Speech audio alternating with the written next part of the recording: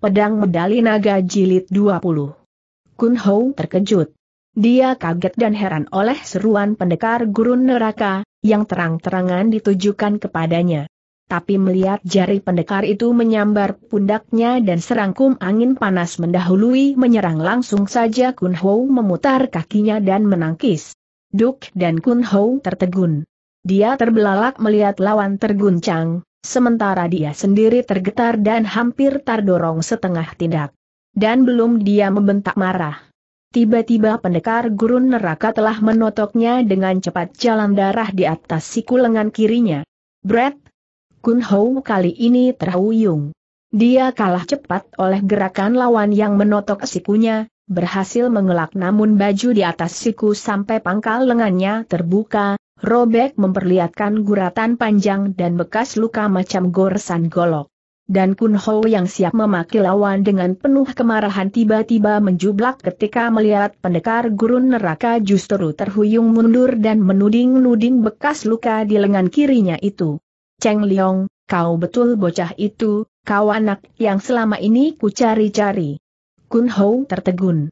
Dia terang tak mengerti oleh sikap pendekar gurun neraka yang aneh, yang kini menggigil dan memandangnya dengan mata basah. Dan Kun Ho yang mengira pendekar itu mempermainkan dirinya tiba-tiba membentak dan melakukan tamparan ke leher lawannya itu, pendekar gurun neraka, tak perlu kau bersandiwara di depanku. Aku Kun Ho bukan Cheng Liong, plak dan pendekar gurun neraka yang terdorong mundur tiba-tiba mengeluh dan hampir terjengkang roboh. Tapi Cheng Bi telah melompat mendekati suaminya ini. Nyonya ini meradang, menahan punggung suaminya dan mencabut pedang. Lalu membentak dan melompat maju mendadak wanita ini menerjang ke depan bagai singa betina yang haus darah. Bocah, kau tak tahu hormat pada orang tua. Kun Hou terkejut. Dia melihat pedang di tangan istri pendekar gurun neraka ini telah berseliweran di sekeliling tubuhnya, menusuk dan membacok. Tapi Kun Ho yang melompat ringan menghindari semua serangan itu tiba-tiba dengan kecepatan kilat telah mencabut pedang medali naganya. Lalu, melengking dan menggerakkan pedang menangkis selonyong-konyong pedang di tangan Cheng Bi patah menjadi dua potong. Terang-terang. Cheng Bi terkejut. Ia melompat mundur dan berseru kaget, tapi seorang laki-laki yang melompat ke depan dengan pekik girang sekonyong-konyong berteriak, pedang medali naga. Semua orang ribut. Mereka melihat laki-laki itu sudah menjatuhkan dirinya berlutut di depan Kun Ho, yang tentu saja tercengang dan membelalakan matanya.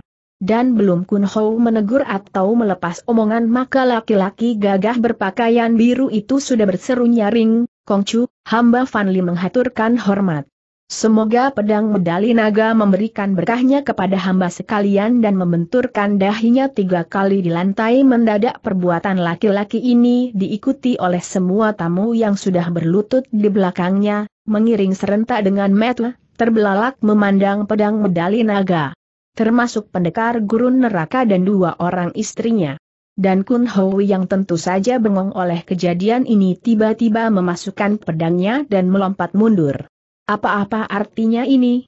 Laki-laki gagah itu berseru nyaring, artinya kau sama dengan pangeran, Kongcu.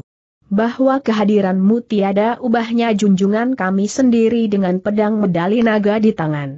Ah Kun Hou kaget bukan main. Sama dengan pangeran yang mana, Lon Hyong, laki-laki gagah? Apa maksudmu? Semua orang kini bangkit berdiri. Laki-laki berpakaian biru yang bukan lain Fan Chiang Kun adanya membungkuk hormat, berseri memandang Kun Hou, lalu tersenyum dan memberi keterangan dia berkata, Kongcu, pedang medali naga adalah pedang keramat kerajaan kami. Itu milik Pangeran Kao Chien yang hilang 10 tahun yang lalu. Tapi karena pedang itu hilang secara aneh dan pangeran membiarkan pedang ini berkelana untuk mencari pemegangnya maka kau adalah orang yang dipilih oleh pedang keramat ini untuk memimpin kami. Kami dari Yueh, tak menyangka bahwa Kongcu adalah pewaris yang ditunjuk oleh pedang medali naga. Kun Hou tertegun. Dia sekarang mengerti kenapa dirinya dihormati banyak orang. Bahkan pendekar gurun neraka dan dua istrinya juga berlutut memberi hormat. meskipun bukan terhadap dia pribadi melainkan terhadap pedang medali naga yang dianggap sebagai wakil atau bahkan pangeran Kao Chien sendiri dari kerjaan Yue. Dan Kun Ho yang bengong oleh kejadian tak disangka ini tiba-tiba menarik napas dan tertawa tak acuh. Lon Hyong, aku tak tahu pedang ini benar milik pangeranmu atau bukan. Yang jelas, aku mewarisi pedang ini dan mendiang guruku. Apakah kini kalian hendak merampasnya dari aku? Van Li terkejut. Tak terpikir oleh kami maksud hati ke es itu, Kongcu. Bahkan dengan pedang itu di tangan berarti kau pemimpin kami orang-orang Hohon Hwe, perkumpulan orang-orang gagah. Apa Kun Ho terbelalak? Kalian orang-orang Hohon Hwe, Lon Hyong? Dan aku kau pilih menjadi pemimpin? Bukan kami yang memilih, Kongcu melainkan pedang yang ada di tanganmu itu yang menentukan. Junjungan kami telah mendapat ilham bahwa pemegang pedang adalah orang yang akan memimpin kami. Kun Ho mundur selangkah. Kalian gila Long Hyong? Aku tak tahu apa-apa tentang Hohon Hwe bagaimana memimpin kalian? Tidak, aku tak suka terikat. Aku datang ke sini karena ada urusan pribadi dengan pendekar gurun neraka lalu memandang pendekar gurun neraka dengan mata berapi-api pemuda ini membentak, pendekar gurun neraka, besok aku akan datang lagi setelah upacara pemakaman ini selesai. Aku ingin menagih jiwa ibuku. Pendekar gurun neraka tersenyum pahit. Dia melangkah maju dan menarik napas berat, lalu berhenti di depan pemuda itu pendekar ini berkata, serak suaranya, Cheng Liong, kau adalah anak yang selama ini ku cari-cari. Siapa ibu yang kau maksudkan itu? Mendiang Buek Elikah? Kun Ho mendengus kau sudah tahu sebelum ku beritahu, pendekar guru neraka? Berarti kau mengakui dosamu dan siap menerima pembalasan. Kau tak akan lari dari tanggung jawab, bukan? Hektometer, aku selamanya mempertanggungjawabkan perbuatanku, Cheng Liong. Tapi kau salah paham. Aku tidak. Kun Ho keburu membanting kaki, memotong dan membentak marah, pendekar gurun neraka, namaku Kun Ho? Bukan Cheng Liong. Tapi pendekar gurun neraka merogoh sakunya, mengeluarkan sepucuk surat dan langsung melemparkannya kepada pemuda itu. Lalu berkata dengan suara getir pendekar ini memandang Kun Ho, anak muda, sebaiknya kau baca saja surat itu. Itu adalah peninggalan Bue Eli yang kau anggap ibu kandung. Kun Hui menangkap. Dia terbelalak dan mengerutkan alis menerima surat itu, memandang pendekar gurun neraka dengan sikap curiga. Tapi melihat lawan menanti dan tidak berbuat apa-apa akhirnya Kun Ho membuka surat itu dan membaca. Dan begitu membaca tiba-tiba Kun Ho menggigil dan terhuyung mundur dengan muka berubah, pucat bukan main. Kau, Kau tidak menipuku, pendekar guru neraka? Kau tidak membuat surat palsu? Pendekar guru neraka tersenyum. Kau boleh cari ibu kandungmu. Cheng Long. Tanya dan buktikan pada ibumu tentang kebenaran isi surat itu. Oh tanda seru Kun Ho gemetar, menggigil dan tiba-tiba berteriak keras. Lalu membalikan tubuh dan melengking tinggi tiba-tiba pemuda itu melompat dan meninggalkan semua orang, merah pada mukanya. Pendekar guru neraka, aku akan membuktikan kebenaran isi surat isi. Kalau kau bohong awaslah. Pendekar guru neraka tak menjawab. Dia sendiri muram, tak menyangka bahwa di saat kematian Chiok Tau Tai Hiap anak dari hasil hubungan gelapnya itu muncul, menggegerkan dan hampir saja membuat keributan tapi ingat bahwa Kun Ho atau yang sebenarnya Cheng Liong itu membawa pedang medali naga sekonyong-konyong pendekar ini mengebutkan lengan bajunya, berseru pada istrinya pertama, Hang Moi, ikut, aku. Pendekar itu berkelebat keluar. Dia sudah mengejar Kun Ho yang turun gunung, lari cepat seperti terbang mencari Kun Ho yang mendahului ke bawah. Tapi persis dia meramukan pemuda itu di kaki gunung tiba-tiba dua bayangan berkelebat menghadang. Pendekar gurun neraka, nanti dulu. Tunggu. Pendekar ini terpaksa menghentikan larinya. Dia terkejut melihat dua kakek muncul seperti iblis, menghadang dan terkekeh di depan. Dan melihat gerak-gerik mereka yang tidak bermaksud baik tiba-tiba pendekar ini mengerutkan alisnya dan membentak perlahan, kalian siapa? Ada apa menghadang lariku? Dua orang itu tertawa. Mereka melompat maju, dan setelah berdekatan dengan mereka ini tergetarlah hati pendekar. Garun neraka ketika melihat bahwa dua orang kakek itu memiliki rupa yang mirip satu sama lain, kecuali dibedakan dengan warna kulitnya yang kontras satu sama lain. Karena yang di sebelah kanan merah bagai api menyala adapun yang di sebelah kiri putih dan bercat bagai salju di gunung yang dingin. Hehe, kau tak mengenalku, pendekar guru neraka? Aku Angkawi, setan merah, datang jauh-jauh untuk milayat mertuamu, benarkah Ciok Tau Tai Hiap sudah mampus? Dan aku Perkawi, setan putih, pendekar guru neraka. Jauh dari laut selatan kami datang untuk membuktikan kabar kematian mertuamu. Benarkah Ciok Tau Tai Hiap mampus yang di sebelah kiri menyusul, menyambung sambil terkekeh mirip kuda meringkik. Dan pendekar gurun neraka yang terkejut di tempat seketika tertegun dan berubah mukanya. Hektometer, kalian yang terkenal dengan nama Siang Mojibin, sepasang iblis dua muka, itu. Engkau I. Dan ini saudaramu. Hehe, benar, pendekar guru neraka. Dan kami menyayangkan sekali kalau Ciok Tau Tai Hiap benar-benar mampus. Tapi apakah benar dia mati seperti kabar burung itu? Bolehkah kami melayat? Pendekar ini terpaksa menekan kemarahannya. Dia melihat Cheng Liong atau Kun Ho itu tak nampak bayangannya lagi, lenyap di kejauhan sana dan mendongkol tapi terpaksa bersabar karena dua kakek iblis ini menyatakan maksudnya melayat maka pendekar gurun neraka tak dapat melanjutkan perjalanannya dan terpaksa melayani tamunya ini, yang bagaimanapun hendak menyatakan bela sungkawa terhadap mendiang mertuanya. Tapi berhati-hati dan waspada akan gerak-gerik mereka yang mencurigakan pendekar gurun neraka bersikap dingin. Maklum, Seng Mojibin itu bukanlah orang baik-baik dan amat aneh kalau datang pada saat yang tiba-tiba ini. Maka memandang mereka dan menjawab datar pendekar ini berkata setengah tak acuh. Angkawi, mertuaku benar-benar telah meninggal dunia. Siapa bilang itu sebagai kabar burung? Kalian boleh menghormat peti jenazahnya jika tidak berniat buruk. Hehe, kenapa kau khawatir kami berniat buruk? Pendekar Gunung Neraka? Takutkah kau? Kami datang untuk membuktikan kematian mertuamu itu. Tidak mempunyai maksud apa-apa. Hektometer, kalau begitu silahkan, pendekar gurun neraka memutar tubuhnya, mengajak tamunya ke atas meskipun hati mendongkol dikata takut, persis pada saat yang bersamaan istrinya pertama muncul, datang beberapa kejap setelah Seng suami terhenti di tempat itu dan Pek Hang yang melihat suaminya membawa dua kakek aneh yang memiliki mata sebagai mata iblis tiba-tiba terhenyak dan berseru nyaring. Yap Koko, siapa mereka? Angka Wei sudah terkekeh, mendahului menjawab, kami siang No Jibin, Hujin kau istri pertama pendekar guru neraka, bukan? Pek Hang terkejut benar, dan kalian ini yang bernama Siang Mojibin. Ya, aku Angka Wei, Hujin. Dan dia itu saudaraku, PKWI, hehe. Pek Hang tercekat. Dan maksud kalian? Mereka mau melayat, Hang Moi.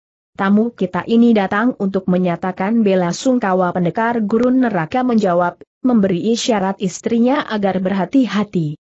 Dan Siang Moji Bin yang terkekeh tiba-tiba menjejakkan kakinya, berkelebat ke atas gunung. Benar sekali. Kami mau membuktikan kematian Ciok Tau Tai Hiap, Hujin. Dan karena suamimu telah memberi izin biarlah kami melihatnya dulu dan dua kakek iblis yang tertawa dengan suara tinggi itu tahu-tahu telah mendaki ke puncak dengan kecepatan luar biasa. Mereka seolah mempunyai sayap, terbang dan sebentar saja menuju ke atas. Dan pendekar gurun neraka yang menyambar tangan istrinya segera berseru. Hang Moi, mari kita ikuti dan begitu pendekar ini menarik lengan istrinya tiba-tiba keduanya pun terbang mengejar Siang Mojibin. Sebentar saja mereka sampai ke puncak, dan ketika berada di pusat keramaian ternyata dua kakek itu telah tertawa-tawa di depan dua jenazah yang berjajar di tengah ruangan. Wah, mana peti Ciok Tau Teh Yap? Semua tamu terkejut. Mereka tak melihat datangnya dua pendatang ini, karena Angkawi dan Perkawi tahu-tahu telah berada di situ, muncul begitu saja seperti keluar dari dalam tanah. Tapi pendekar gurun neraka yang telah melompat maju segera menunjuk dan mendorong mundur Bilan dan Honki yang terbelalak, memandang dua kakek iblis itu. Peti mertuaku yang di sebelah kanan, Angkawi. Silahkan memberi hormat pada arwahnya. Tapi Angkawi dan Perkawi tertawa-tawa. Mereka mengelilingi peti Ciok Tau Tai Hiap, berputar dan sejenak saling lirik. Lalu menepuk tutup peti mendadak Perkawi yang ada di tengah berseru keras. Pendekar gurun neraka, kami ingin melihat mayat Ciok Tau Tai Hiap permisi dan begitu lengannya menepuk perlahan tahu-tahu tutup peti terbuka dan mayat Ciok Tau Tai Hiap terlihat dibungkus kain putih. Ahas semua orang terkejut. Mereka berseru kaget oleh perbuatan iblis putih ini yang luar biasa. Dan Bilan serta Hon, Ki yang berada paling dekat dengan PKWI tiba-tiba membentak dan langsung menghantam punggung kakek itu dengan pukulan dahsyat. Tua bangka, pergunakan sopan santunmu, plak des iblis putih terhuyung. Dia melepaskan tutup peti matinya. Berderak keras menimpa tempatnya semula, menggetarkan ruangan dengan suara berat. Dan iblis putih yang terkekeh sambil memutar tubuhnya tiba-tiba melompat jauh ketika Bilandau Hangki siap menyerangnya kembali.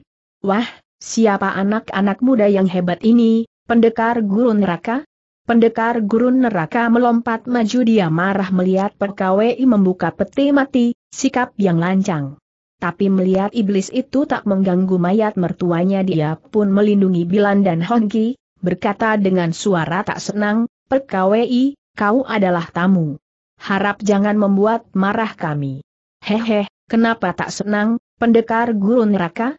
Kami hanya mau membuktikan saja benarkah Ciok Tau Tai Hiap mampus atau tidak. Kami sudah bilang tadi dan tidak menghiraukan pendekar gurun neraka perkawai memandang saudaranya. Suheng, kau sudah melihat jenazahnya? Angkawei tertawa. Belum begitu jelas, Sute. Kau terlanjur menutup cepat peti mati itu. Ah, kau ingin melihatnya kembali? Ya dan berkata begitu iblis bermuka merah ini melangkah maju, menyentuh tutup peti dan siap membukanya kembali. Tapi pendekar gurun neraka yang berdiri di samping peti mati itu sudah meletakkan tangannya dan membentak. Angkawei, apa yang mau kau lakukan? Hehe, aku ingin melakukan seperti apa yang telah dilakukan saudaraku, pendekar guru neraka. Hanya sekedar melihat dan melongok isi peti mati itu. Tidak boleh pendekar guru neraka membentak. Kau jangan bersikap keterlaluan, Angka WI. Aku masih menghargaimu sebagai tamu. Tapi Angka WI yang tertawa mengejek dan tidak menghiraukan bentakan pendekar guru neraka tiba-tiba menepuk peti dan membukanya seperti yang tadi dilakukan PKWI. Dan begitu peti mati ditepuk tiba-tiba tutupnya terbuka dan terangkat serta menempel di telapak iblis ini. Pendekar guru neraka, tak perlu sombong. Aku hanya ingin melihat saja. Tapi pendekar guru neraka terang tak mengizinkan. Dia membentak pula, menekan lengannya di atas peti yang terangkat tutupnya.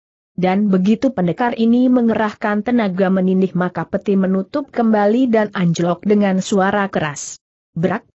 Angkawei terbelalak. Dia terkejut dan berseru kagum.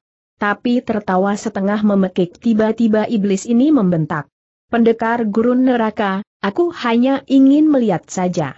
Buka dan peti yang tiba-tiba kembali terangkat mendadak terbuka tutupnya dan terbang diputar lengan kakek ini. Otomatis, semua tamu terkesiap. Tapi pendekar gurun neraka yang maklum bahwa iblis bermuka merah ini ingin mengadu kepandaian dengan mengganggu peti mati tiba-tiba menjadi marah. Dia mengerahkan tenaga saktinya, dan begitu menggerakkan lengan menampar sekonyong-konyong peti yang terbang di telapak lawan ditarik dan disedot ke dalam. Lalu sementara Angka WI terbelalak dengan mata melotot tahu-tahu tutup peti itu meluncur dan turun kembali ke tempatnya semula. Angka WI kaget. Dia bertahan, menambah tenaganya. Dan persis tutup peti itu anjlok di tempatnya mendadak serangkum angin menahan di bawah. Akibatnya tutup peti ini berhenti di udara, sejengkal saja. Dan angka WI yang berteriak mempertahankan diri tiba-tiba membuat tutup peti naik dan kembali terangkat. Haha, kau tak dapat menahan kemauanku. Pendekar guru neraka. Aku menghendaki Ciok Tau Tai Hiap berbaring saja dengan peti terbuka. Pendekar guru neraka berang. Dia tadi mengerahkan tenaganya setengah bagian, tak mau bersikap keras karena khawatir tutup peti hancur digencet dua tenaga tak nampak tapi melihat Tang KWI melotot dan kakek iblis itu memaksa untuk membuka peti mati tiba-tiba pendekar ini menambah sinkangnya dan menghentakkan lengan ke bawah. Brak!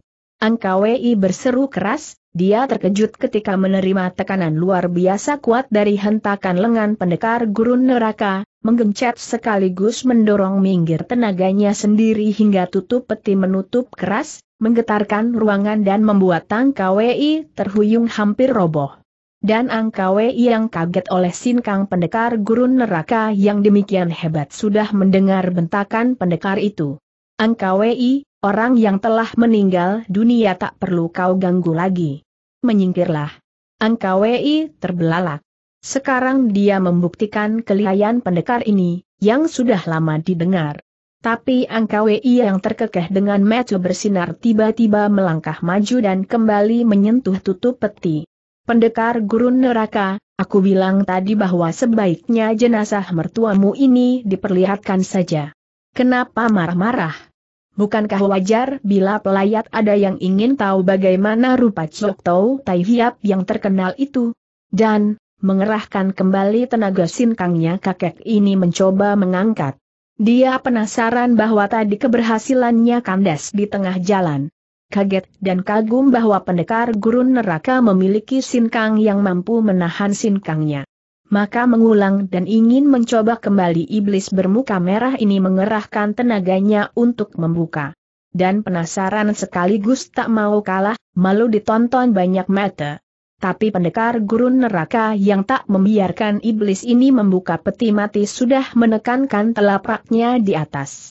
Dengan singkang tiga perempat bagaian dia menahan tutup peti yang kini mulai bergerak maju mundur karena angka WI hendak mengangkatnya. Dan karena dua orang itu saling berkutat dan masing-masing tak mau mengalah tiba-tiba saja tutup peti itu membuka dan menutup seperti diungkit-ungkit dari dalam. Sepintas kejadian ini lucu. Orang akan mengira arwah Chok Tau Tai Hiap hidup kembali, marah dan rupanya mau keluar dari dalam peti mau. Tapi melihat Tang KWI menggereng dan mukanya semakin merah dan kepala kakek iblis itu mulai mengepulkan uap yang tipis bagai kabut taulah orang bahwa kakek ini sedang mengadu tenaga dengan tuan rumah dan itu memang betul. Pendekar gurun neraka mempertahankan tutup peti agar tidak membuka, tak mau jenazah mertuanya dipermainkan iblis ini. Dan ketika dia menambah tenaganya sedikit lagi dan tutup peti tiba-tiba anjlok dengan suara keras mendadak tutup peti mati itu tak dapat dibuka lagi dan terpantek bagai dipukul paku raksasa. Angka WI, kau tak berhasil. Angka WI mendelik. Dia benar-benar tak berhasil mengangkat peti mati itu lagi. Jangankan mengangkat, menggeser seinci pun dia tak mampu kalah kuat. Dan Angkawe yang menggeleng dengan muka merah padam itu tiba-tiba berseru pada saudaranya. Sute, kau mau coba? PKWI terbelalak. Dia melihat pertandingan aneh ini, kagum dan diam dia memuji kehebatan pendekar gurun neraka yang dapat mengatasi kekuatan suhengnya. Maka tertawa dan mendengar saudaranya menegur dia tiba-tiba iblis putih ini telah melompat maju dan menekan telapak tangannya pada tutup peti. Pendekar gurun neraka, kau sungguh hebat. Tapi tanganku jadi gatal-gatal untuk membantu suhengku. Awas! Tanda seru. Pendekar gurun neraka mengerutkan alis. Dia merasa sebuah tenaga tiba-tiba meluncur dari telapan tangan PKWI, mendorong dan siap mengangkat tutup peti membantu kakaknya, hebat dan membuat dia terkejut karena gabungan dual belis bersaudara itu ternyata kuat bukan main, tiba-tiba mendesak sinkangnya dan menggeser peti mati.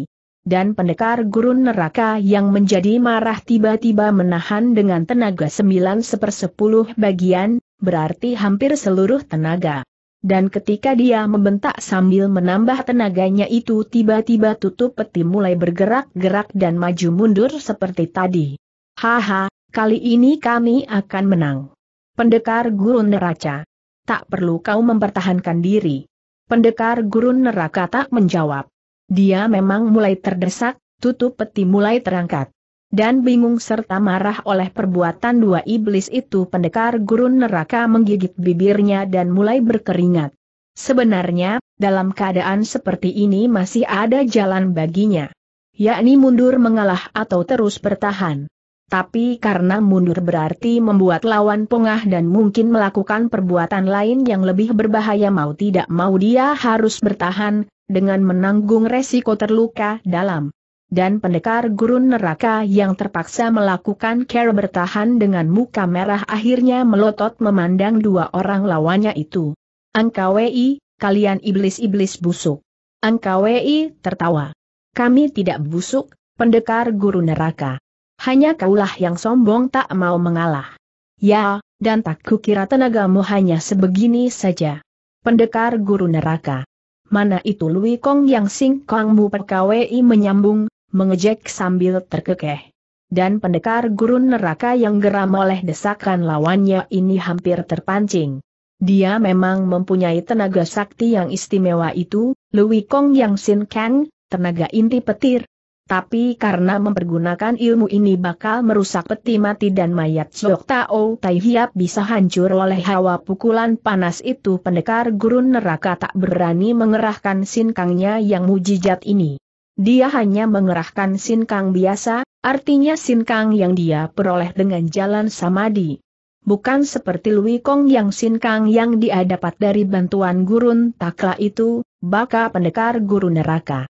Sinkang mujizat yang dapat membuat hancur gunung dan pendekar gurun neraka yang tentu saja bingung dan marah oleh gencatan lawan tiba-tiba melihat Hanki menubruk maju menghantam leher PKWI dengan maksud membantu pamannya karena pendekar gurun neraka memang kelihatan terkesak.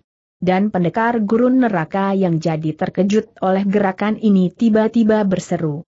Kiji, jangan. Tapi Hanki terlanjur memukul. Diami lalukan pukulan di saat pendekar gurun neraka mencegah, berteriak nyaring.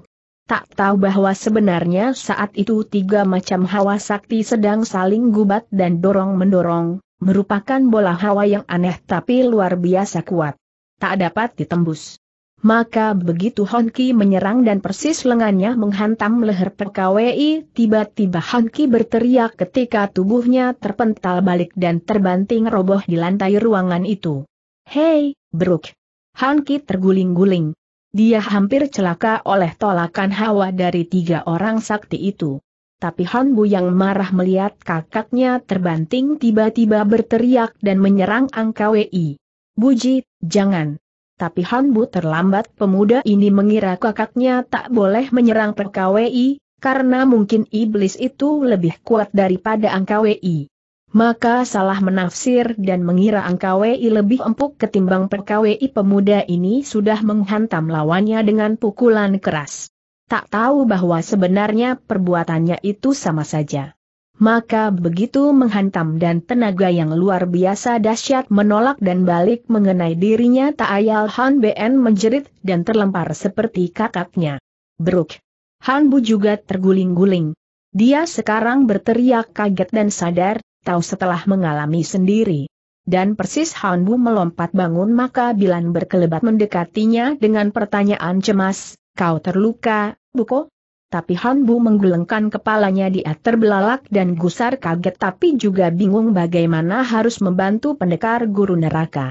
Tapi persis dia mengumpat dengan jari terkepal tiba-tiba sebuah bayangan berkelebat menepuk punggung pendekar guru neraka. Ayah, siapa mereka ini? Angkawei dan Perkawei berseru kaget. Mereka merasa sebuah tenaga dahsyat tiba-tiba menggempur mereka, bersamaan dengan tepukan pendatang baru itu di belakang punggung pendekar guru neraka. Dan begitu keduanya terbelalak memandang ke depan tiba-tiba Perkawei dan Angkawei terpental mundur dan membentur tembok dinding ruangan. Duk! Dua orang iblis itu terkejut. mereka terpaksa melepaskan tutup peti mati, yang kini anjlok dengan suara keras. Dan Angkwi serta Perkwi yang terbelalak memandang seorang pemuda tinggi besar yang mirip pendekar gurun neraka tiba-tiba melengking dan tertawa aneh. Pendekar gurun neraka, siapa pemuda ini? Sin Hong, pemuda yang dimaksudkan ini melompat maju. Aku Sin Hong, tua bangka. Siapa kalian yang mengganggu peti jenazah kongkongku? Ah, kau cucu Ciok Tau Tai Hiap dia, aku Sin Hong. Hehe, Perkawai mengebutkan lengannya. Kalau begitu, kau putra pendekar gurun neraka, bocah? Dan kau yang menjadi murid naga bongkok? Sin Hong mengerutkan alisnya. Benar katamu, iblis tua. Siapa kalian dan kenapa hendak mengacau di tempat ini? Pendekar gurun neraka kini mendekati anaknya. Mereka Siang Moji bin Hang Ji. Yang bermuka putih ini adalah PKWI sedang yang lain itu adalah Hang KWI. Ah, iblis-iblis dari Laut Selatan itu? Hang KWI tertawa. Orang yang tak menyenangi kami memang menyebut kami sebagai iblis, anak muda. Tapi orang yang menyukai kami justru menyebut kami sebagai dewa. Sin Hang tertawa mengejek. Dia sekarang tahu siapa kiranya dua orang kakek ini. Siang Moji Bin yang biasa bergerak di Laut Selatan. Dua orang iblis yang katanya tak pernah berkeliaran di luar wilayahnya kalau tidak ada kepentingan sesuatu. Dan Sin Hang yang maklum bahwa dua orang iblis itu hendak mengganggu mereka tiba-tiba memandang ayahnya dan bertanya, Ayah, apa yang harus kita lakukan untuk melayani orang-orang macam begini? Pendekar gurun neraka menarik napas kita tetap menganggapnya sebagai tamu bila mereka berlaku sopan, Hangji. Tapi terpaksa mengusir bila mereka hendak mengacau.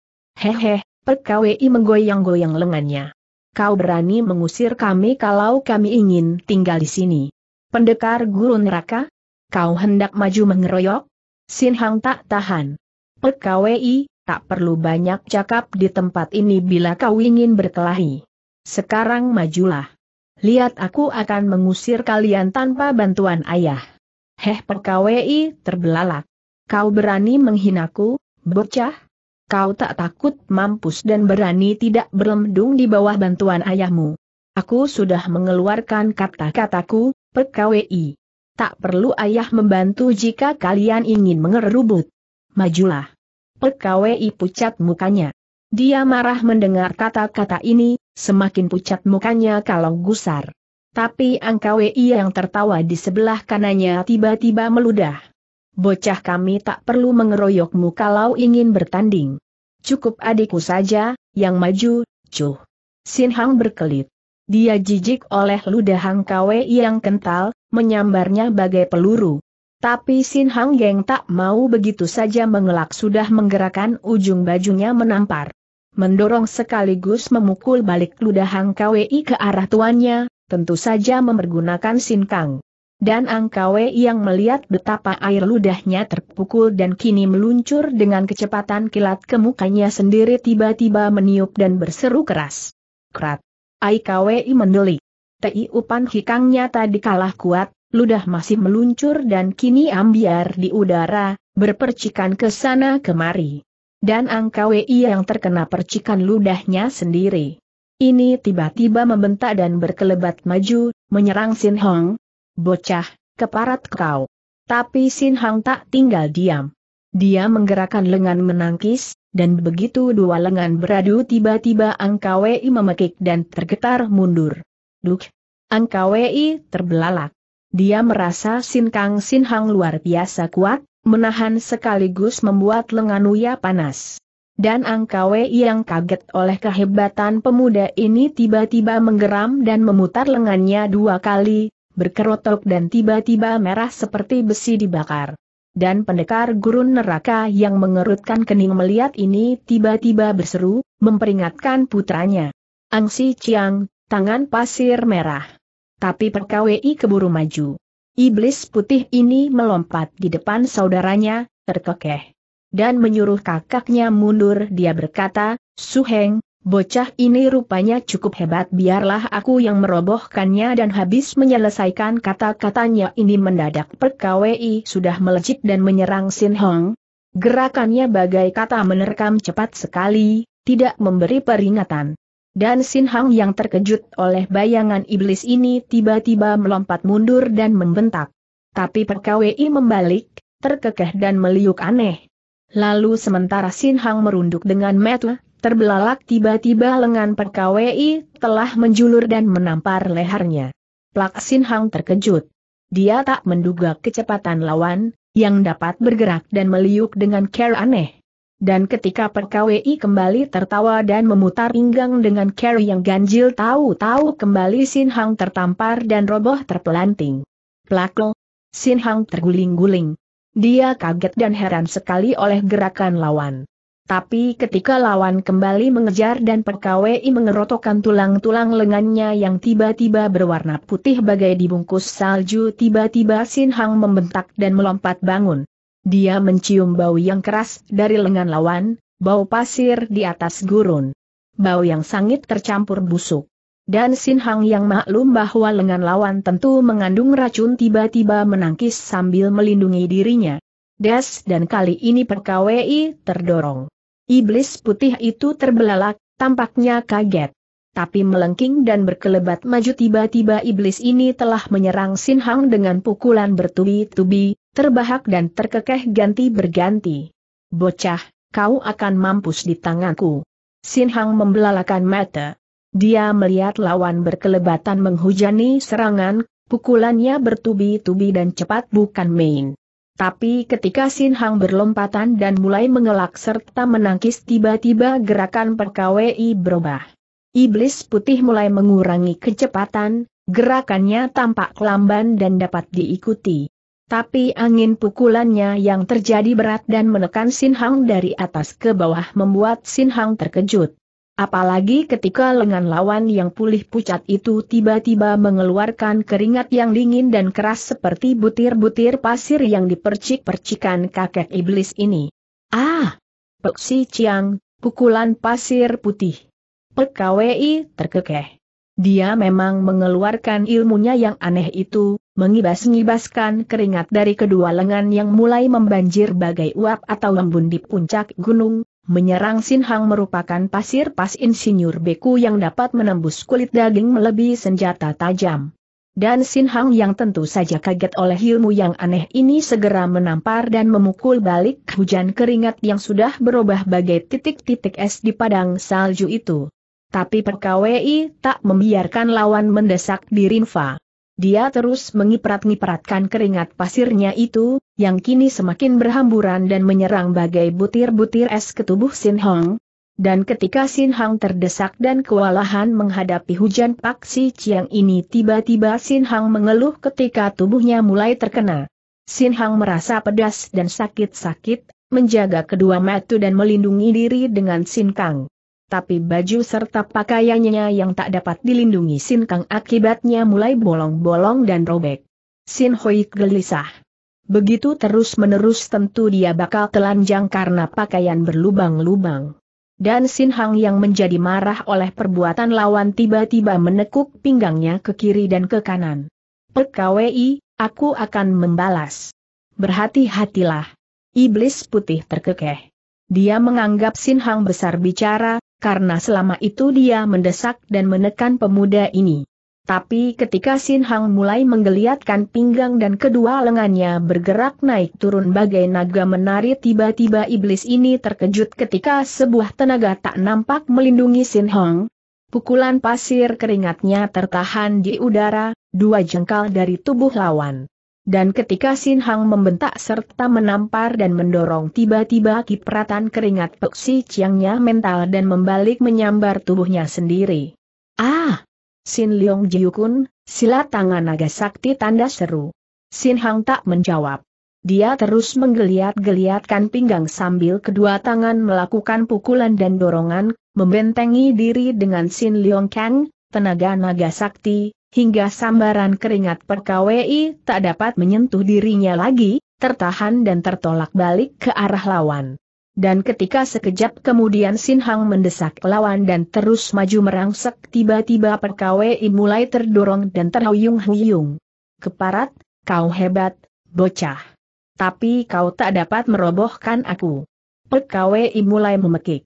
Dia marah dan terbelalak melihat pukulan Peksi Chiangnya tak berdaya menghadapi Sin Hong, selalu membalik dan runtuh ke tanah bertemu hawa yang melindungi Sin Hong, dan ketika Sin Hang semakin mendesak dan ganti menekan dirinya tahu-tahu PKWI sudah membelakangi tembok dan tak dapat mundur lagi. PKWI terkejut.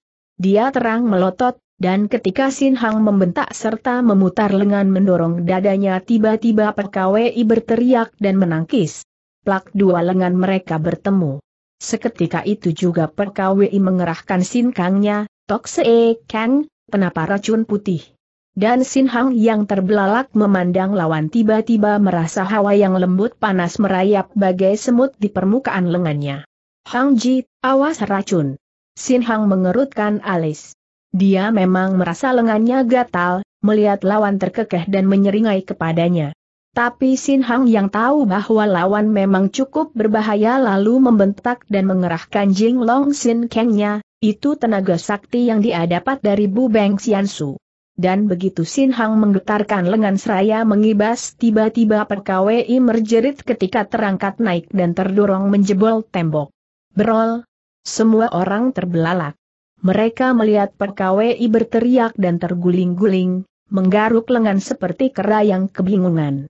Dan ketika iblis itu melompat bangun sambil memaki-maki maka tampaklah lengannya yang putih itu sudah terkupas kulitnya dan mengeluarkan darah yang berwarna putih pula, kental dan berbau busuk. Darah dari pukulan Tok Si Keng. Yang membalik dan mengenai iblis ini sendiri. Dan Angka WI yang terkejut melibat saudaranya terluka oleh pukulan racun putih tiba-tiba berkelebat ke depan menyambar adiknya itu. Sute, telan obat ini. Kita pergi dulu dan Angka WI yang menotok sutenya serta melempar sebutir obat untuk ditelan tiba-tiba melompat keluar dan lenyap sambil berseru pada tuan rumah, pendekar gurun neraka, besok kita bertemu lagi. Awas penghinaan kalian. Pendekar gurun neraka tak mencegah. Dia hanya menarik napas melihat kepergian dua kakek iblis itu. Tapi Sin Hang yang marah tiba-tiba mengejar, Xiang Mojibin, kalian tak boleh pergi sebelum minta maaf. Hayo kembali. Tapi Angka WI dan PKWI telah lenyap di luar sana. Sin Hang hendak mengejar sampai ke bawah, namun ibunya yang berkelebat di belakangnya berseru memanggil, Hang Ji, ayahmu tak membolehkan kau turun sendirian. Kembalilah. Sin Hang terpaksa kembali. Dia mengepal tinju dengan muka merah, dan naga bongkok yang tiba-tiba muncul di tempat itu juga menyuruh muridnya menghentikan pengejaran. Terpaksa, Sin Hang menekan kemarahan dan mereka bertiga yang masuk kembali ke ruangan duka segera disambut pendekar gurun neraka yang mengerutkan keningnya. Hang Ji, kita berjaga-jaga saja. Sebaiknya kau kembali ke posmu dan biarkan kami di depan. Kiranya Sin Hang menjaga di belakang ketika tadi keributan dimulai dan perdekar gurun neraka yang juga memandar naga bongkok lalu bertanya lirih, ada sesuatu yang mencurigakan di samping rumah, Lord Ciampu? Naga bongkok mengangguk. Aku melihat bayangan merah di tempat yang kujaga. Pendekar guru neraka. Kukira iblis penagih jiwa itu. Pendekar guru neraka tertegun. Sobeng. Agaknya begitu, dan naga bongkok yang mengibaskan lengannya lalu berbisik, pendekar gurun neraka, tampaknya besok orang-orang jahat akan mengacau kita. Mungkin dalangnya angka WI dan PKWI itu adalah awal dari sesuatu yang akan mengganggu kita. Hektometer, kalau begitu bagaimana pendapatmu, Lord Ciampu? Sebaiknya malam ini kita tak usah beristirahat. Pendekar. Gurun neraka. Dan biar kita perketat kewaspadaan hingga pemakaman besok. Pendekar gurun neraka mengangguk. Lalu melihat putranya belum juga mundur dia menjadi haran. Kau menyimpan pertanyaan, Hang Ji. Sin Hang ragu-ragu. Ya ku dengar Bu Beng Xiao kat kemari, ayah. Betulkah itu? Pendekar gurun neraka tiba-tiba gelap mukanya. Memang betul Hang Ji tapi dia telah pergi. Pedang medali naga ada di tangannya. Hektometer, dan dia membawa kemarahannya, ayah. Begitu yang kulihat. Kau pernah bertemu dengannya ya, beberapa waktu yang lalu di luar kota raja. Pendekar gurun neraka tertegun. Dan kau belum menceritakannya kepadaku, Hongji. Waktu kita sempit, ayah. Biar besok saja setelah urusan pemakaman Kongkong selesai. Pendekar gurun neraka menarik napas. Dia jadi berdebar teringat akan anak itu. Bu Beng Xiao Kat atau Kun Ho atau Cheng Liong yang asli. Tapi maklum bahwa Sin Hang memang belum ada waktu untuk bicara banyak karena kematian Chiok Tau Tai Hiap yang tiba-tiba maka pendekar ini pun mengangguk dan menggerakkan tangannya.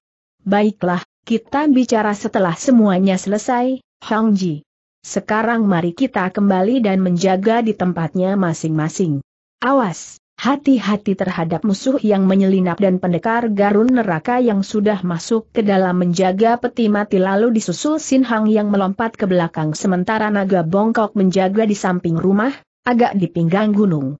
Dan begitu semua orang kembali pada tempatnya masing-masing maka ketenangan suasana pulih kembali seperti semula. Malam itu tak terjadi sesuatu. Dua peti tetap berjajar dengan tenang, masih menerima tamu-tamu yang datang dan semakin membanjir memenuhi ruangan di mana jenazah Chiok Tau Tai Hiap dan Cui Ang terbaring. Dan ketika keesokan harinya upacara akan dimulai dan markas besar Beng sampai penuh sesak oleh ratusan orang yang siap mengantar dua peti jenazah tiba-tiba serombongan orang muncul mengejutkan mereka. Rombongan itu terdiri dari sepasukan kerajaan, datang berkuda dipimpin dua orang gadis cantik yang berpakaian biru dan hijau. Sepasang gadis kembar yang tiba-tiba menarik perhatian semua mata karena kecantikan dan kemiripannya. Dan begitu mereka tiba di luar markas dan rombongan ini melompat turun dari atas kudanya tiba-tiba seorang di antaranya yang berpakaian panglima mengibarkan bendera dan membungkuk hormat, menghadap pendekar gurun neraka dan keluarganya yang datang menyambut. Pendekar gurun neraka, kami dari istana diutus oleh Sri Baginda untuk menyampaikan bela sungkawa atas kematian Chok Tau Tai Hiap So Ki Beng. Semoga kedatangan kami tidak mengejutkan keluargamu karena memang kami tidak diundang. Pendekar gurun neraka terkejut. Dia melihat orang sudah mengeluarkan bunga, kembang sebagai tanda bela sungkawa yang dihias membentuk hati, besar dan warna-warni setinggi 2 meter dan pendekar gurun neraka yang terkejut dan terpana oleh rombongan dari istana ini tiba-tiba tertegun dan tak segera melangkah malu. Dia terbelalak, heran dan kaget oleh utusan Sri Baginda itu, tak menyangka sama sekali. Dan sementara dia bengong oleh semuanya ini tiba-tiba sepasang gadis kembar yang cantik dan berdiri di sebelah kiri Panglima itu bertanya nyaring. Pendekar gurun neraka, apakah kami tak dapat kau terima hingga harus kembali melaporkannya kepada Sri Baginda? Pendekar gurun neraka terkejut. Dia mendengar nada yang menyembunyikan ancaman di balik seruan nyaring itu. Kata-kata yang membawa nama Kaisar. Dan pendekar gurun neraka yang cepat menindas guncangan hatinya ini segera maju dan membalas hormat Panglima itu, memberi isyarat agar Bilan menerima kembang. Ciang Kun, maafkan kami. Kami memang terkejut atas kedatangan kalian. Tak menyangka sama sekali bahwa Sri Baginda menaruh perhatian demikian besar kepada kami yang jauh dari kota raja. Maaf, maaf dan pendekar gurun neraka yang terpaksa menyambut tamu dengan sikap sebaik mungkin karena hendak menyatakan bea sungkawa lalu mengharap Panglima itu menyerahkan kembang pada putrinya. Tapi mengejutkan sekali. Panglima ini mengerutkan keningnya, dan tidak puas memandang tuan rumah dia berkata, pendekar gurun neraka, Sri Baginda menghendaki persembahan ini kau terima dengan tangan sendiri. Tidak pantaskah persembahan kami hingga orang lain yang harus kau suruh untuk menerimanya? Pendekar gurun neraka terbelalak. Dia putriku sendiri, Chiang Kun. Bukan orang lain. Benar tapi betapapun Sri Baginda kurang hormat bila bukan tanganmu sendiri yang menerima. Pendekar guru neraka. Ataukah kedudukan Sri Baginda kurang tinggi bagimu? Pendekar guru neraka tertegun. Dia memang menyuruh Bilan betapapun juga dia merasa enggan menerima karangan bunga itu. Ucapan bela sungkawa dari Pangeran Fucai musuh dari kerajaan Yue yang memimpin orang-orang Hohon Hwe.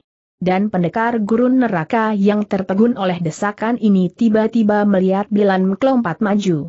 Orang-orang tengik, kenapa kalian banyak tingkah di tempat ini? Bukankah tak perlu ayah menerima sendiri bila mempunyai wakil? Aku bilang juga cukup berharga untuk menerima persembahan kaisar tak perlu cerewet, dan Bilan yang langsung menyambar karangan bunga itu dengan kasar tiba-tiba sudah merebutnya dengan cepat dan berapi-api. Tapi gadis baju biru tiba-tiba membentak.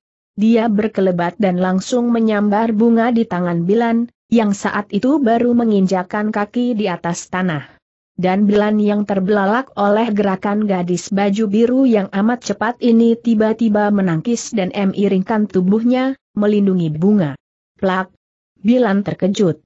Dia tergelar dan terdorong mundur, merasa sinkang lawan kuat sekali dan agaknya seimbang. Tapi belum dia membalas tahu-tahu kaki gadis baju biru itu telah menendang lengan kirinya yang membawa bunga hingga mencelat terlempar, kembali ke tangan si Panglima yang terkejut melihat gebrakan cepat itu. Kwik Chiang Kun, terima.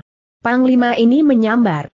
Dia sudah menerima kembali karangan bunganya itu, tertawa dan tersenyum lebar. Dan Bilan yang marah oleh serangan lawan tiba-tiba melengking dan menggerakkan tangannya menampar. Siluman betina, kau tak tahu malu. Tapi gadis baju biru menangkis. Dia menjengekkan hidung melihat balasan Bilan, maka begitu mengerahkan Sin Kang ia pun sudah mengadu lengan dengan Bilan. Duk dan kedua-duanya kini terdorong mundur baik Bilan maupun lawannya sama-sama terbelalak, masing-masing melotot dan tampaknya marah. Tapi pendekar gurun neraka yang mengebutkan lengannya sudah maju ke tengah memisah mereka. Lanji, minggir. Gadis baju biru mencoba bertahan. Dan menentang arus tenaga pendekar gurun neraka, yang lembut tapi dahsyat mendorongnya. Dan ketika ia tak mampu bertahan dan pendekar gurun neraka tersenyum kepadanya mendadak gadis ini terhuyung dan hampir terjengkang roboh. Pendekar gurun neraka, kau mau membantu puterimu pendekar ini menghela napas. Aku tak membantu siapa. Siapa, Nona? Justru menegur putriku sendiri yang kurang menghormat tamu. Maaf, siapa kau? Gadis baju hijau berkelebat maju. Kami kakak beradik Kui Hoa dan Kui Lin, pendekar guru neraka. Kami pengawal istana di bagian Kaputren. Oh, dan guru kalian? Kami orang Shi Oke. Ayah atau guru kami adalah Hoke Lun. Pendekar guru neraka terkejut. Seketika senyumnya lenyap, terganti kerut yang dalam di keningnya. Dan belum. Dia mengeluarkan suara tiba-tiba gadis baju hijau yang bukan lain Kui Hoa adanya berseru nyaring, bagaimana, pendekar guru neraka? Tak dapatkah kau menerima permintaan Kwik Chiang Kun? Cheng Bi yang melompat. Biar aku yang menerimanya, Yap Koko. Tapi Kui Hoa menghadang. Tidak. Kami hanya mengharap persembahan Sri Baginda diterima pendekar guru neraka, Hujin atau kami kembali dan melapor penolakan ini pada Sri Baginda. Cheng Bi melotot. Dia tahu kesukaran suaminya. Tapi pendekar gurun neraka yang tak mau ribut-ribut dalam awal upacara tiba-tiba melangkah maju dan berkata, Baiklah, aku menerimanya Nona. Tapi ku harap tak ada hal-hal yang tersembunyi di balik pernyataan bela sungkawa ini, dan pendekar gurun neraka yang sudah menyambar bunga di tangan Kwik Chiang Kun tiba-tiba melemparkannya pada Bilan. Lanji, terima. Bilan menangkap. Sekarang tak ada persoalan lain di antara mereka, tapi Kui Hoa yang mengeluarkan sebuah hu, surat jimat, dari istana tiba-tiba menuding seseorang. Pendekar gurun neraka, benarkah orang itu Fan Chung Kun adanya? Pendekar ini terketat. Benar. Ada pada, Nona? Kami hendak menangkapnya, pendekar guru neraka. Setelah menghormat selesainya pemakaman mertuamu. Ah pendekar guru neraka terbelalak. Apa alasanmu menangkap Fan Chiang Kun, Nona?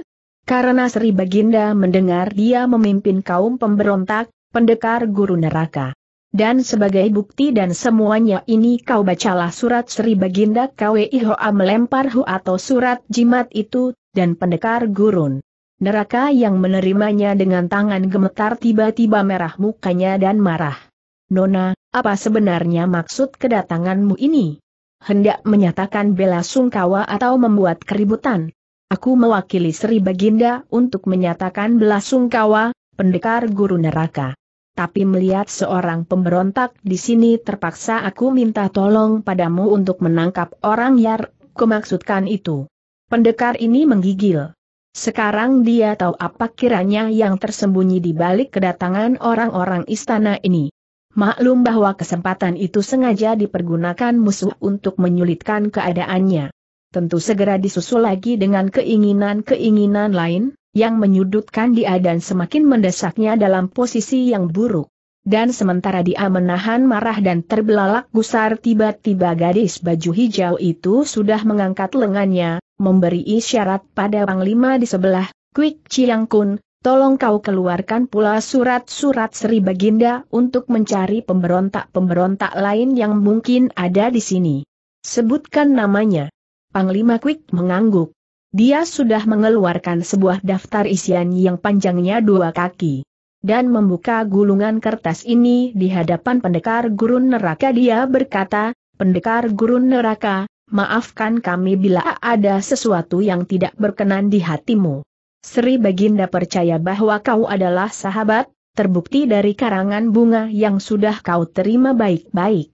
Dan karena Oke Xiaochia menyuruh untuk membacakan surat ini biarlah kita sama dengar siapa saja nama-nama pemberontak yang dikehendaki Baginda. Lalu melirik ke sana kemari dengan pongah Panglima ini mulai membaca, pertama, dia berseru nyaring, adalah Fan Chiang Kun yang tidak berbakti lagi kepada negara. Kedua, Bui Xiang dari Bu Tong Pai. Ketiga, Tian Kong Chin Jin dari Kong Tong Pai dan keempat serta kelima adalah Yap Sin Hang serta Yap Bilan. Semua orang kaget bukan main. Itulah penyebutan nama-nama tokoh Hohan Hwe, terutama Fan Chiang Kun dan Bui Xiang serta Tian Kong Chin Jin. Sedang Bilan dan Sin Hang Yar terbelalak mendengar nama mereka disebut-sebut mendadak melompat maju dengan sikap marah. Orang si Kwik, atas datar tuduhan apa nama kami disebut-sebut dalam daftar pemberontak? Panglima itu tersenyum mengejek. Untukmu karena peristiwa di kota Yekiang, Nona. Bahwa kau telah membunuh Komandan Lao dan beberapa orang anak buahnya untuk urusan keluarga Yeu. Sedang kau, dia menuding Sin Hong. Silahkan tanya pada Oke Xiao Chia untuk peristiwa di kota raja. Sin Hong milotot. Dia melihat gadis baju biru yang bukan lain kuilin adanya berkelebat maju, langsung berhadapan dan membuat dia terkejut. Dan begitu mereka sudah beradu pandang dan masing-masing saling berhadapan maka Sin Hong mendengar seruan nyaring gadis itu, Yap Sin Hong, kau telah mengacau di istana beberapa waktu yang lalu. Kau membuat onar dan menculik seseorang di Kaputren. Tidak mengakukah kau? Bohong Sin Hork terkejut. Aku tidak pernah ke istana dan menculik di Kaputren, Nona. Itu fitnah dan bohong belaka. Tapi seseorang menjadi saksi di sini, Yap Sin Hong, dan orang itu adalah orang yang justru kau culik. Sin Hong marah. Mana dia? Aku Kui Hoat tiba-tiba berkata nyaring, melompat maju dan berdiri di sebelah kanan adiknya.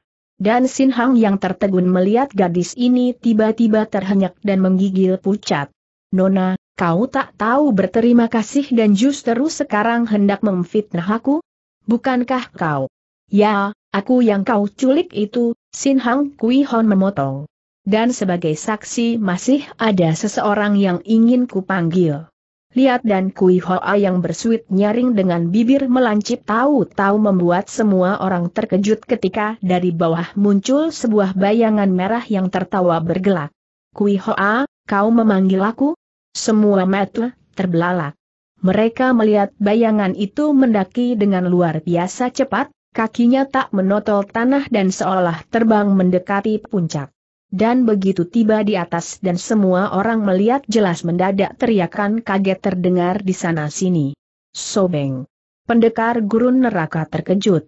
Dia melihat bahwa betul iblis penagih jiwa itu yang datang. Muncul dan amat berani sekali mendatangi markas Beng Sanpai. Dan Pek Hang yang teringat kematian gurunya di tangan iblis ini mendadak berseru keras menerjang ke depan, langsung membacokkan pedang ke leher lawannya itu. Sobeng, kau pembunuh keji. Bayar hutang guruku, sing dan pedang Pek Hang yang sudah bertubi-tubi membacok dan menusuk tiba-tiba ditampar iblis penagih jiwa ini. Peletak. Pek Hang menjerit. Ia melihat pedangnya patah, mendengar iblis itu tertawa dan mengejeki kepadanya. Tapi Pek Hang yang kalap dan tak memperdulikan semuanya lalu kembali menerjang dengan pedang yang buntung. Bertubi-tubi menusuk dan melancarkan serangan. Tapi ketika lawan menangkis dan kali ini pedang buntung di tangan Pek Hang mencelat terlempar barulah pendekar gurun neraka berkelebat maju menahan istrinya itu. Hang Moi, tahan. Sobeng tertawa pendek. Dua jago itu kini berhadapan. Pendekar gurun neraka dengan alis terangkat sedang sobeng dengan sikap acuh tak acuh sama sekali tak menghiraukan ratusan mata yang terbelalak memandangnya. Tak dapat menembus topeng merah di balik wajah iblis pembunuh ini. Dan pendekar gurun neraka yang pertama kalinya baru berhadapan langsung dengan iblis penagih jiwa ini tiba-tiba tergetar dan kaget melihat sinar mata orang yang luar biasa tajam, berkilat peruh tenaga sakti. Tanda memiliki sinkang yang hebat dengan bukti patahnya pedang istrinya di tangan leblis penagih jiwa itu. Tapi pendekar gurun neraka yang marah teringat kematian tablok HWSIO tiba-tiba membentak dingin dengan pertanyaan tak senang. Sobeng, betulkah kau yang membunuh guru istriku? Sober tertawa. Tak kusangkal, pendekar gurun neraka, dan aku juga akan membunuh orang-orang pemberontak bila mereka tak mau menyerah baik-baik hektometer, dan kedatanganmu sekarang apakah melindungi orang-orang istana ini? Haha, aku datang karena aku dipanggil keponakanku, pendekar guru neraka. Dan karena kebetulan Sri Baginda mempercayakan aku untuk mendampingi rombongan Ciang Kun ini maka pertanyaanmu benar. Aku datang untuk membantu bila ada perobertak pemberontak tak mau menghadap Sri Baginda dengan care baik-baik. Bagus Bilan tiba-tiba melengking, kalau begitu boleh kau tangkap aku, iblis penagih jiwa. Aku orang pertama yang menolak keinginan kaisar dan menyerang dengan tamparan Tong Te Kun, pukulan mengguncang bumi, tiba-tiba Bilan berkelebat menghantam lawannya ini. Des. Sobeng tak mengelak. Dia sengaja menerima serangan itu, tak menangkis. Tapi ketika tubuhnya tergetar dan kakinya tergeser setengah tindak dia pun mendengus dan melompat ke kiri.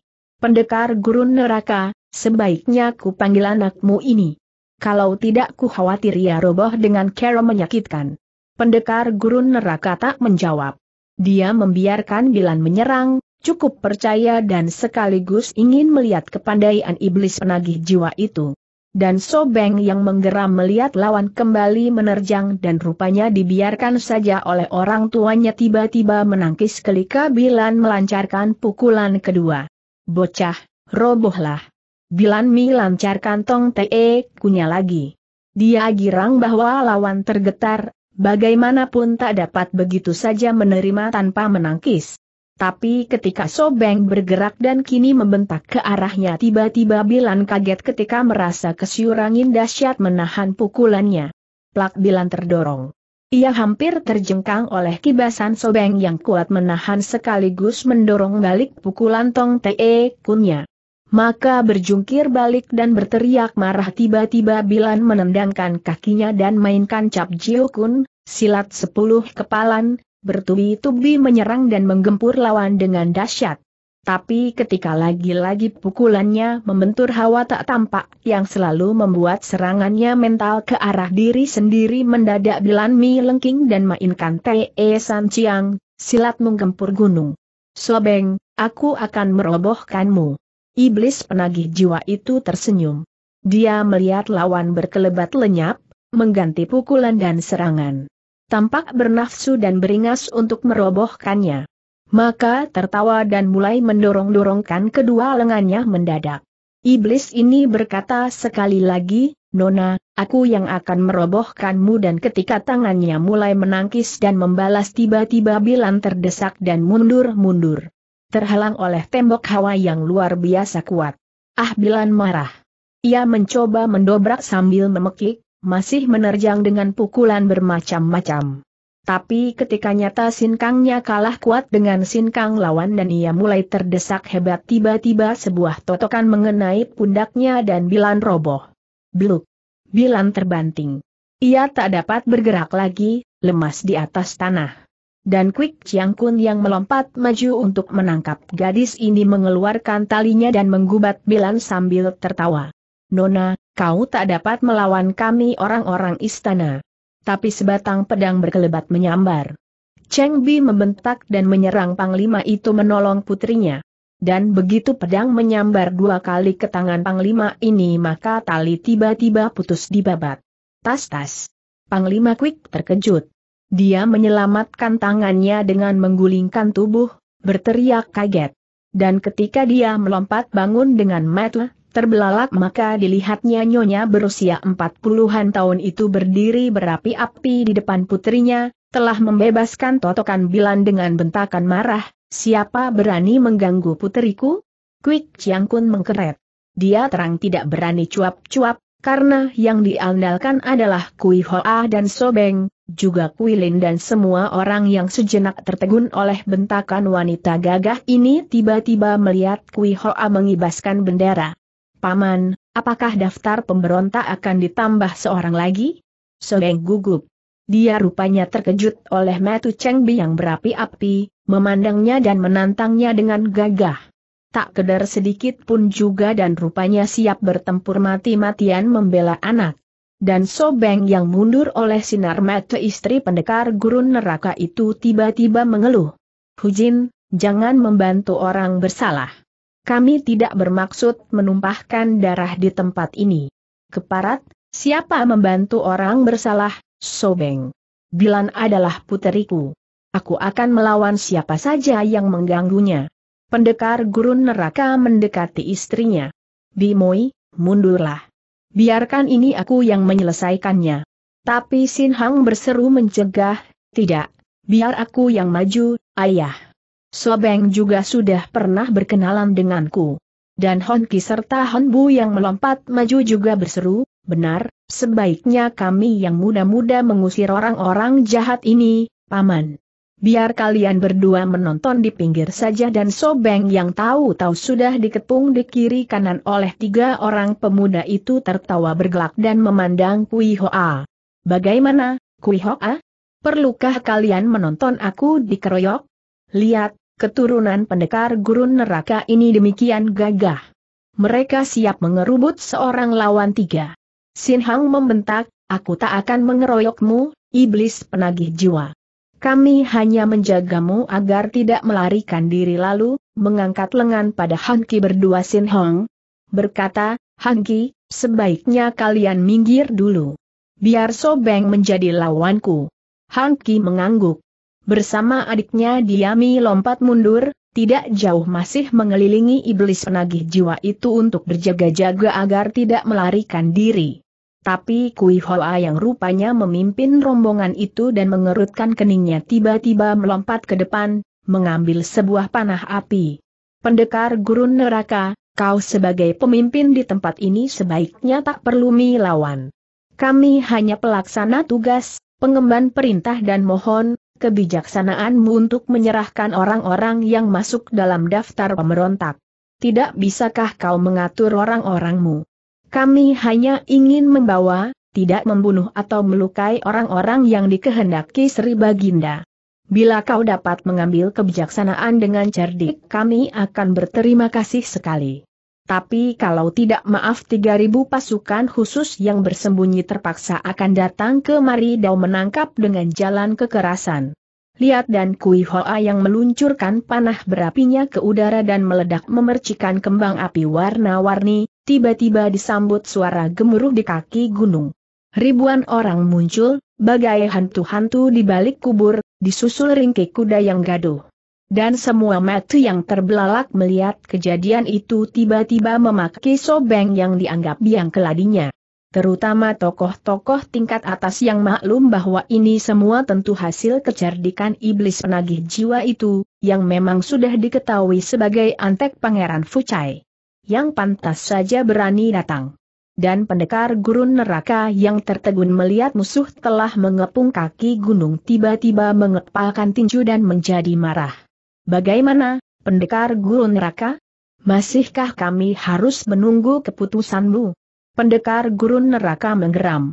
Dia sekarang berada dalam posisi yang sulit.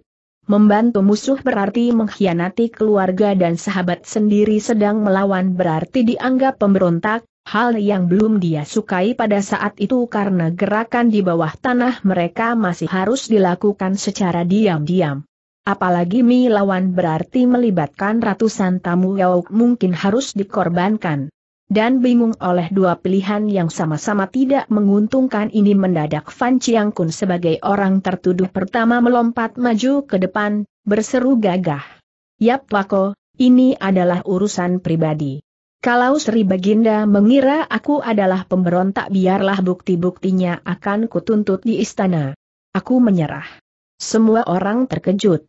Mereka terbelalak dan kagum akan kegagahan Panglima itu, yang berpakaian biasa dan tidak takut akan ancaman lawan. Dan belum pendekar gurun neraka menjawab atau menolak tiba-tiba Bui Hosiang yang sejak tadi tak bersuara dan berdiri di rombongan tamu juga menyeruak sambil mengebutkan jubahnya. Omi Lohut, Pinceng juga menyerah mengikuti jejak Fan Chiang Kun. Pendekar guru neraka. Agaknya ada sesuatu yang tidak beres di istana. Pinceng juga akan menuntut bukti-buktinya. Dan, sedetik setelah seruan ketua butong itu mendadak Tian Kong Chin yang ada di rombongan para tosu juga berkelebat ke depan sambil mengeperukan tongkatnya. Bagus, Pinceng juga menyerah. Pendekar Gurun Nerika. Pinto juga siap menuntut bukti-bukti di istana jika Pinto dituduh pemberontak dan mengerahkan ilmunya Choan Im Bit atau ilmu mengirim suara dari jauh ketua Kong Tong Pai ini berbisik. Pendekar gurun neraka, kami bertiga telah saling memberi isyarat untuk menyerah. Ini kami lakukan untuk tidak menimbulkan korban jiwa di antara tamu-tamumu.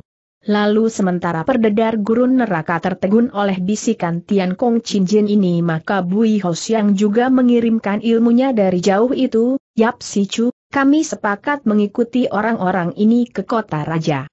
Selain untuk menyelamatkan orang-orang lain yang tak berdosa di tempat ini juga agar tidak mengganggu upacara pemakaman Chiok Tau Tai Hiap. Kau lakukanlah tugasmu dan jangan khawatir tentang nasib kami bertiga. Pendekar gurun neraka tak dapat bicara. Dia sekarang mendelong memandang tiga orang sahabatnya itu, tamu sekaligus tokoh-tokoh Hohan Hwe yang dia pimpin. Dan sementara dia mengerutkan kening oleh seruan tiga orang sahabatnya itu mendadak Sin Hang dan Bilan yang tadi menentang keras tiba-tiba juga tampil ke depan. Ayah, kami menghargai keputusan yang diambil Wila Suhu dan teman-temannya itu. Memang benar, kalau kami tak bersalah untuk apa harus takut? Aku dan Bilan siap menyertai orang-orang ini. Asal tidak diperlakukan hina atau diborgol dan Sin Hang yang membisikan Choan Im Bit pada Seng Ayah sudah menyambung, kami mendapat isyarat untuk pura-pura menyerah, Ayah. Bui Lo Suhu telah meminta kepadaku untuk mengikuti orang-orang ini. Tapi kami akan memberontak dan meloloskan diri di tengah jalan. Pendekar gurun neraka menarik napas panjang. Sekarang dia tahu apa yang kiranya terjadi dalam pikiran teman-temannya itu. Terutama Fan Chiang Kun yang tahu kesulitannya itu. Yang kiranya tidak menghendaki upacara pemakaman akan hancur di tengah jalan, yang ingin menghormati arwah Chiok Tau Tai Hiap dan memberi kesempatan padanya untuk melakukan tugas dan sadar bahwa di antara mereka rupanya telah terjalin suatu komunikasi di saat orang-orang tertegun melihat pasukan di bawah gunung akhirnya pendekar ini tertawa pahit dan melangkahkan kakinya dua tindak. Nona, kiranya orang-orang yang kau kehendaki semuanya telah siap. Dan karena mereka menyerahkan diri dengan sukarela biarlah kau ambil tindakan sebagaimana mestinya. Tapi mereka tak mau diborgol. Hektometer, kami memang tak akan memborgol mereka. Pendekar guru neraka. Tapi kami juga tak mau kehilangan mereka. Mereka harus tunduk dan tak boleh melarikan diri dan Kui Hoa yang mengibaskan benderanya sambil berkelebat maju tahu-tahu telah menotok Sin Hang dan teman-temannya. Tuk tuk tuk. Sin Hang terbelalak. dia tak mengelak totokan itu, tahu sampai di mana kekuatan Kui Hoa dan tertawa di dalam hati karena dia dapat membebaskan diri. Tapi ketika Kui Hoa melakukan totokannya dan tak ada orang mengelak karena berpikir sama seperti Sin Hang mendadak lima sinar hitam menyambar jalan darah mereka persis di mana Kui Hoa baru saja melakukan totokannya. Jadi semacam totokan ulang totokan yang membuat mereka tiba-tiba roboh dan kaget oleh sinar hitam yang hebat bukan main ini. Lima butir batu yang baru ditendangkan Sobeng lewat ujung jari kakinya. Dan Sin Hang yang terbelalak marah oleh serangan gelap itu mendengar Sobeng tertawa. Hehe, kalian benar-benar harus dibuat tak berkutik, anak muda. Kami tak mau dibuat repot kalau kalian lolos. Sin Hang sadar. Sekarang dia dan teman-temannya tahu, siapa kiranya yang bermain gila melempar batu-batu hitam itu, batu kecil yang menotok jalan darah kelumpuhan di lutut mereka. Yang membuat mereka roboh dan tak berdaya di atas tanah. Tapi karena mereka telah berjanji untuk menyerah dan melawan juga tidak menyakiti mereka selain melumpuhkan itu maka Sin Hang dan teman-temannya tak memberontak. Mereka hanya melotot tapi Cheng Bi serta Pek Hang yang melihat anak-anak mereka ditangkap tiba-tiba melompat ke depan dengan senjata terhunus. Sobeng aku tak membiarkan kalian menangkap putera-puteriku. Mereka harus dibebaskan. Pek Hang juga mendentingkan rantai peraknya. Benar, aku tak membiarkan kalian membawa mereka, Kui Hoan Yochu. Sin Hang dan Bilan bukan anak yang boleh kalian bawa selama orang tuanya masih hidup, Tartar dan Pek Hang yang beringas memandang iblis penagih jiwa itu siap mempertaruhkan nyawa dengan berdiri tegak di depan anaknya. Pendekar gurun neraka terkejut. Semua orang juga kaget, dan keadaan yang tiba-tiba menjadi tegang oleh majunya dua wanita gagah ini seketika menjadi ribut dan gaduh. Tapi pendekar gurun neraka mi lompat maju, dan menyambar dua lengan istrinya dia berseru, Hang Moi, Bimoi, mereka menyerahkan diri karena merasa tak bersalah. Sebaiknya kita biarkan dan tak perlu khawatir akan nasib mereka. Cheng Bi membanting kaki. Aku tak mau melepas anak-anakku, Yap Koko. Sin Hang dan Bilan harus dibebaskan. Benar, dan aku heran atas sikapmu, Yap Koko. Kenapa membiarkan anak sendiri ditangkap musuh sementara kau sebagai ayahnya mendelong saja Pek Hang membentak, marah pada suaminya dan menghadapi pendekar itu dengan metu berapi-api. Dan pendekar gurun neraka yang jadi bingung oleh kemarahan dua istrinya lalu memberi isyarat. Hang Moi, mereka menyerah karena ada sesuatu yang mereka rencanakan. Aku tidak bodoh untuk melepaskan anak-anakku di sarang harimau. Pek Hang tak mau mendengar bisikan ini.